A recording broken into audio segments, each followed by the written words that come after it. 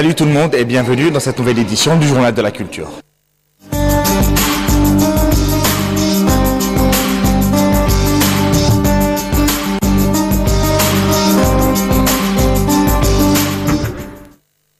Eh bien, je commence avec les principales actualités artistiques dans tout le pays. Le samedi 27 mars, c'est la troupe, euh, l'orchestre plutôt du Haut Institut de la musique arabe qui nous présente un concert à l'Opéra du Caire. Le dimanche 28, on part à Alexandrie, au centre de l'innovation d'Alexandrie, pour un concours d'art visuel.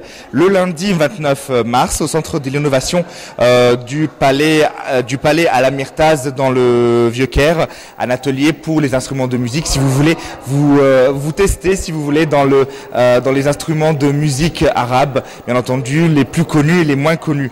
Euh, je continue avec le mardi 30 euh, mars à l'Opéra du Caire. C'est bien sûr l'opéra Aïda, euh, présenté par l'Orchestre Symphonique du Caire. Et pour terminer, le mercredi 31, la 39e commémoration du décès de Abdelhalim Hafez, le rossignol brun, décédé le 31 mars 1977. Encore un mythe après 39 ans de disparition.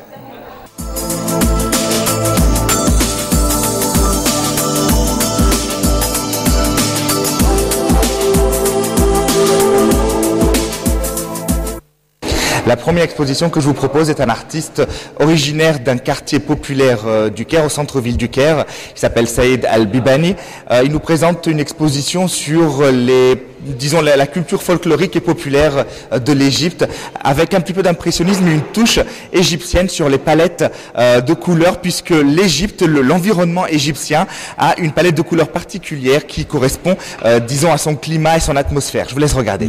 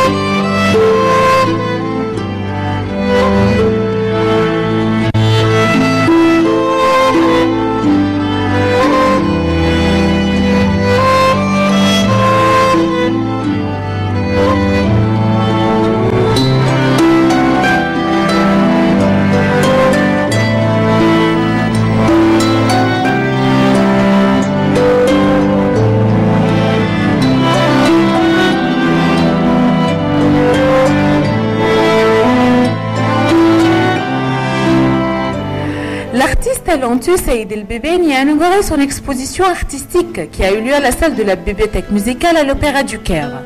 À travers ses différents tableaux, l'artiste Saïd El Bébéni nous incarnait la vie des paysans à la campagne égyptienne.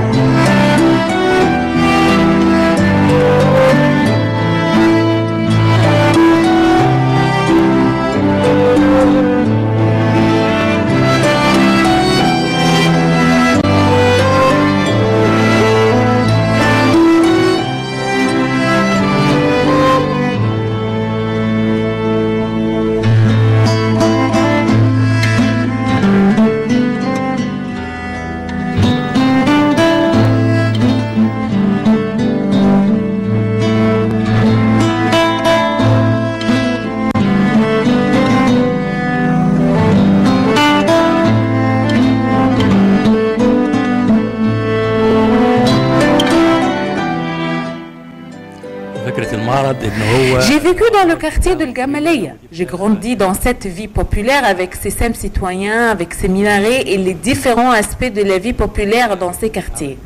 Bien sûr, le rôle principal de l'art est de refléter notre vie. Dans mes ouvrages, j'aime utiliser le courant réaliste. J'aime incarner les sentiments des scènes citoyens, les artisanats et la vie populaire.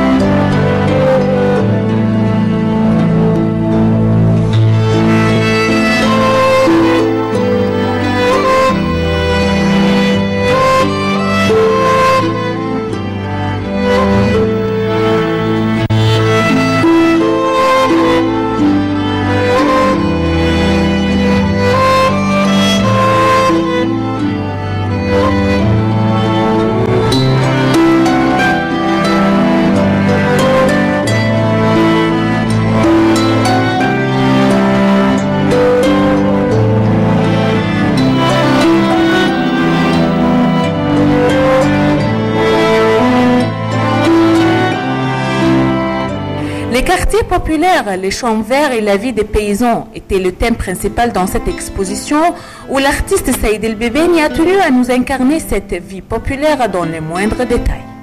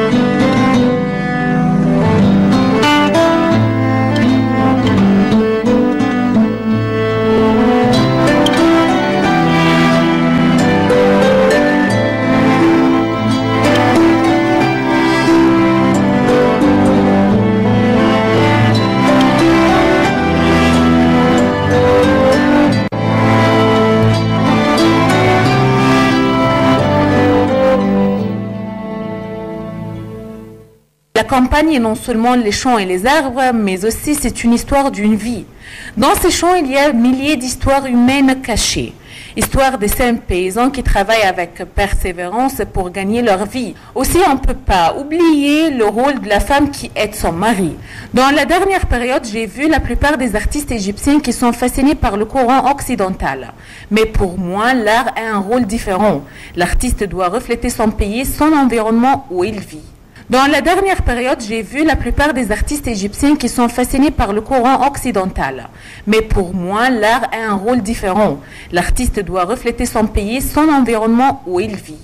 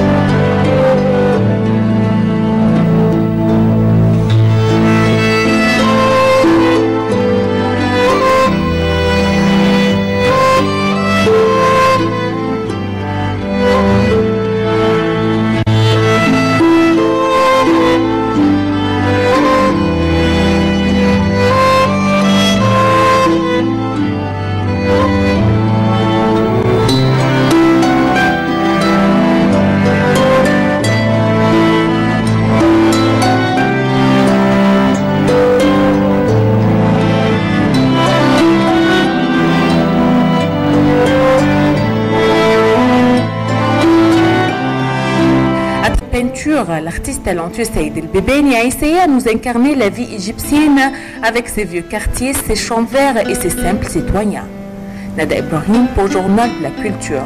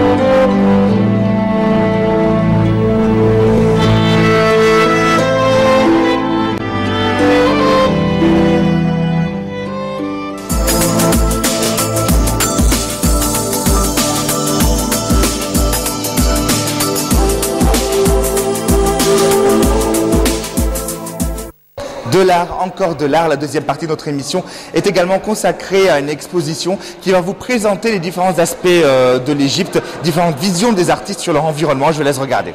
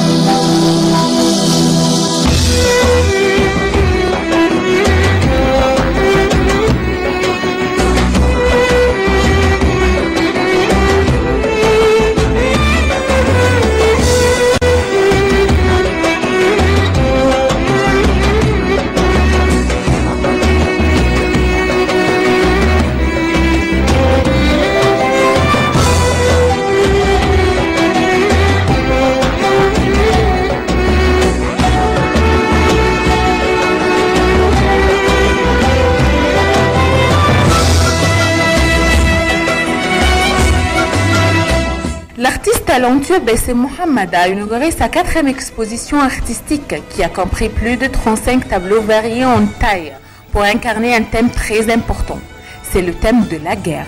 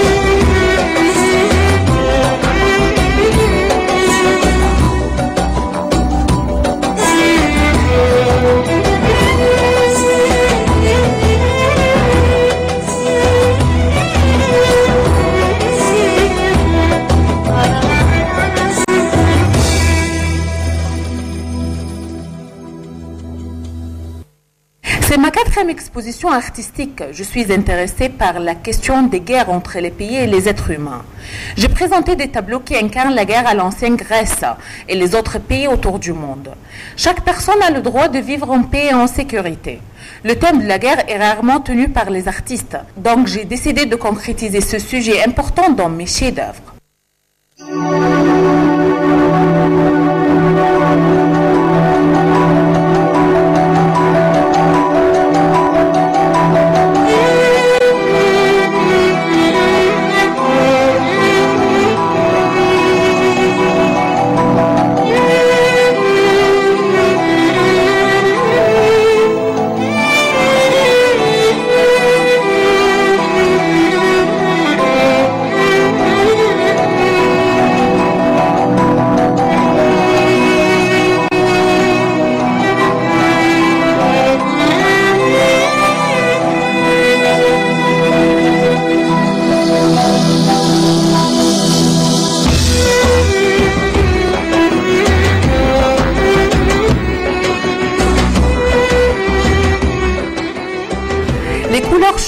Sont les couleurs dominantes dans les œuvres de l'artiste talentueux Bessé Mohammed, et surtout la couleur rouge qu'il a utilisée pour incarner son idée.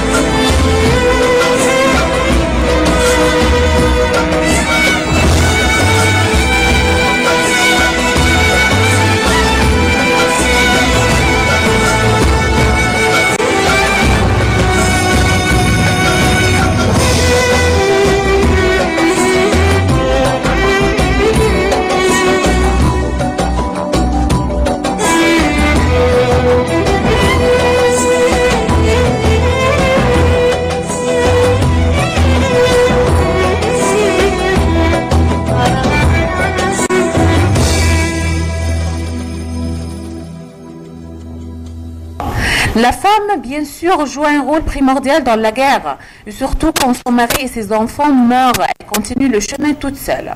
C'est pour cela qu'on peut voir la femme et son rôle dans la plupart de mes peintures. Certainement, mes études à la faculté de beaux-arts m'ont beaucoup profité, soit au niveau académique ou personnel. Bien sûr, tu dois avoir le talent, mais quand l'artiste possède le talent et les études académiques, ça va lui aider à améliorer son niveau artistique.